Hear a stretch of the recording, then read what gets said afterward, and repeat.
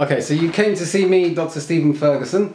So, um, how is your, you, you had diabetes, your sugar was at 14 now, before, Mm. and how is your sugar today? We measured it today, how's your sugar, the diabetes?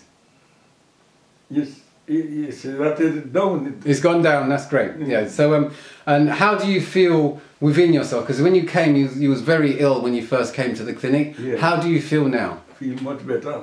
Great, great. So would you encourage someone else to come to the clinic? Oh yes. Uh, you had no energy at all, hardly any energy when you came. Have you got more energy now?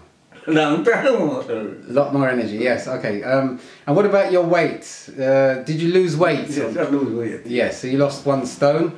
Yeah. Uh, would you encourage someone else to come and do the program that you did? Would you? Would Oh you yes, oh yes. Okay. Did you take the vitamins and everything? You took the vitamins and did the program? Yes, everything. Okay, brilliant.